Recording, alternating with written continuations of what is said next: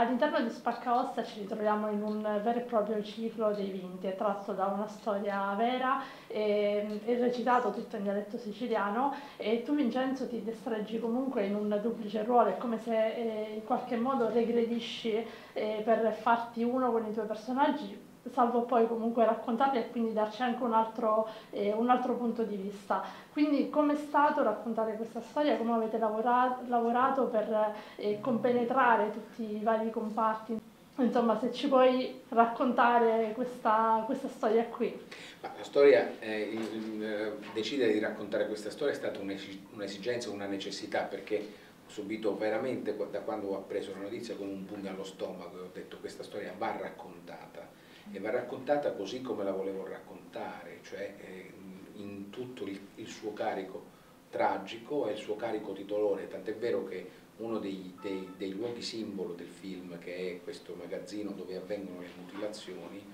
eh, io lo chiamo l'antro del dolore, anche in sceneggiatura, e lavorare con questo, con questo cast è stato meraviglioso, regali e benedizioni che la vita ti fa incontrare tutti, molti di loro li conoscevo perché avevano lavorato in spettacoli teatrali, ma eh, altri no, come eh, Selene che ho incontrato in un altro set eh, e da subito ho percepito proprio una, la sensazione che lei potesse incarnare il personaggio di Luisa. E tutti hanno capito il senso civico, appunto dicevi prima il senso civico civile di raccontare una storia come questa eh, ed è una storia che ti lascia con, con una domanda importante, una domanda che, che, che, vorrei che lo spettatore si portasse appresso dopo la visione. Cosa siamo disposti a mutilare di noi stessi pur di ottenere qualche cosa? Eh, è un, un qualche cosa che coinvolge lo spazio, la sfera, non soltanto materiale, ma anche e soprattutto la sfera eh, metafisica, la sfera vorrei dire che coinvolge anche la nostra dignità, la dignità di ognuno di noi. Ecco perché è un, una storia che nasce nel ventre molle della mia città, Palermo, ma che per quello che racconta può essere una storia di qualsiasi periferia del mondo, diventa una storia universale e all'interno di Spaccaossa ci sono principalmente tre donne diciamo, che emergono e alla fine ci, dà pure, eh, ci danno pure un po' una considerazione, no? una grammatica sociale quasi del ruolo della donna all'interno della periferia, all'interno di certe situazioni. Ad esempio eh, Selene, la tua Luisa, è una ragazza che in qualche modo cerca di riscattarsi, ma poi alla fine insomma sappiamo che non,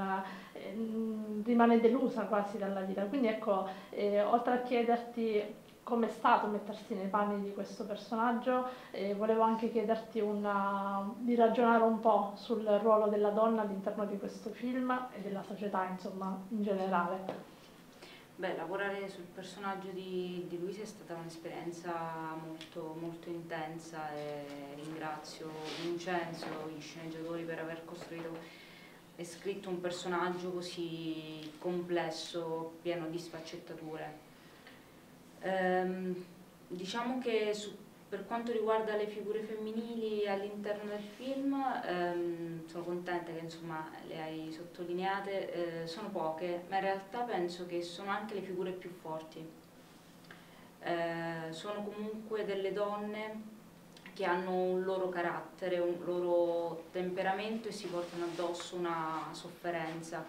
E in qualche modo sono l'una allo specchio dell'altra eh, perché il personaggio di Maria interpretato appunto da una grandissima Simona Malato eh, rivede in Luisa quella possibilità di riscatto soprattutto nella scena in cui c'è questo sguardo prima che Luisa vada insomma patibolo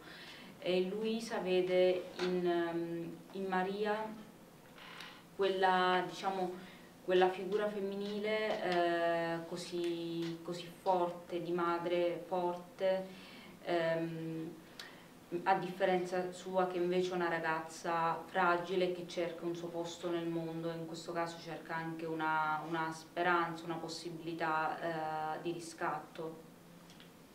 Grazie mille. Grazie a te.